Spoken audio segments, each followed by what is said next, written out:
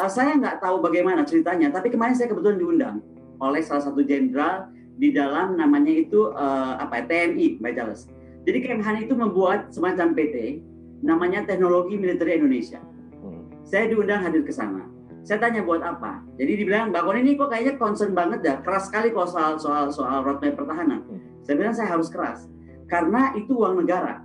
Dan setahu saya ini sekarang gimana sih jadi mau bikin pertahanan tuh jadi Kemhan gitu yang mau pakai semua alat-alatnya bagaimana gitu kan pengguna terus oh. dilibatkan gitu. Nah, di sinilah sebenarnya juga barusan ada kemudian uh, apa isu Mr. M itu bisa bermain. Hmm. Kan saya bilang uh, saat uh, di dalam uh, program lain, sebenarnya menurut saya apa yang disampaikan Mbak itu menarik. Industri pertahanan seperti uh, apa uh, uh, himbauan presiden itu harus ada ya Mbak ya. Tapi saya juga melihat at the same time ada segitiga bermudanya pertahanan kita. Kita sebutnya segitiga bermuda lah, segitiga mematikan. Apa itu? Ah, maksudnya apa ya? Itu ya. sudo inhan. Sudo inhan itu adalah industri pertahanan yang semu, yang mengaku-ngaku industri pertahanan, tapi sebenarnya dia bukan. Baik swasta, baik pun dalam negeri, uh, baik, baik pun dalam negeri. Dan itu ada. Makanya saya dari dulu, baik dari Mbak Jales tahu lah. Saya selalu bilang kan, Mbak kita audit teknologinya, teknologinya, teknologinya gitu kan. Makanya saya berharap sekarang ada BRIN dipimpin oleh Bu Mega misalnya, kemudian Menristek sudah digabungkan dengan Pak Dandi misalnya, segera lakukan ini gitu. Karena apa? Sekarang anggaplah 1.760 triliun ini yang saya pegang sekarang stepnya apa draft proposal di saya, hmm. itu mau dipaksakan, ini akan benturan banyak. Contoh nih, saya contohkan aja kapal selam. Kalau dari sini dan meeting saya kemarin di SMI, kapal selam kita berubah Mbak Dani.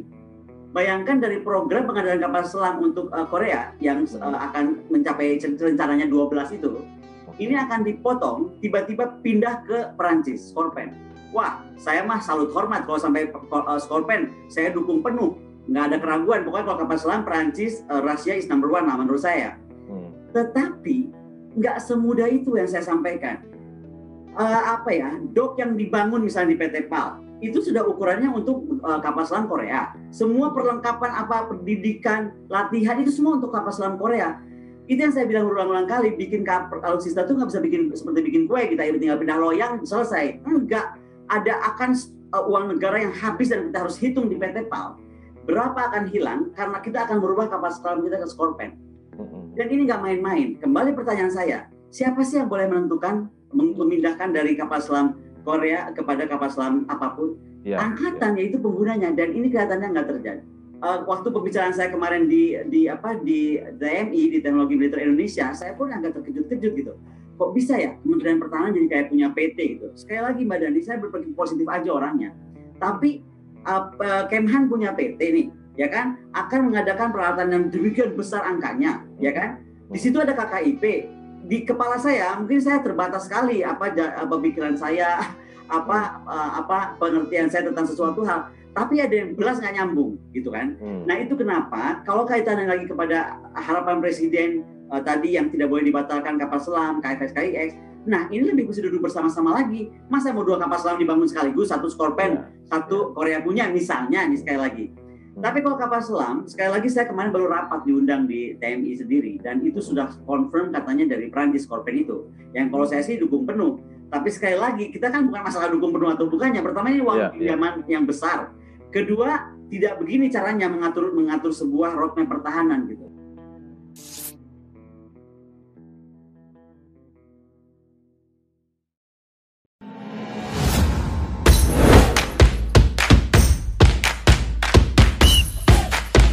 Bubur ayam kalau diaduk-aduk jadi cair. Seriously? Diaduk kayaknya ya.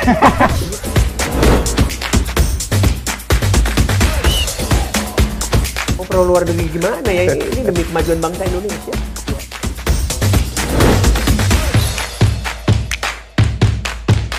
Isu kebangkitan uh, PKI ini uh, dihentikan.